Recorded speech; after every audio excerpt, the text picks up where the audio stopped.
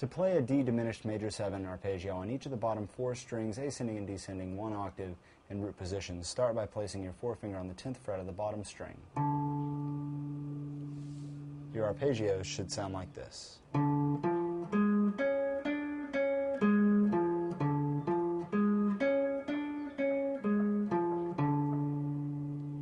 Moving back to the 5th fret, 5th string.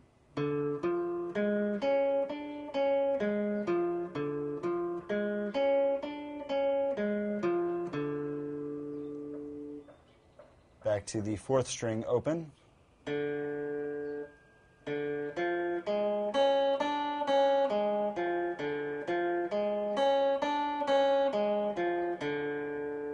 Finally up to the seventh fret, third string.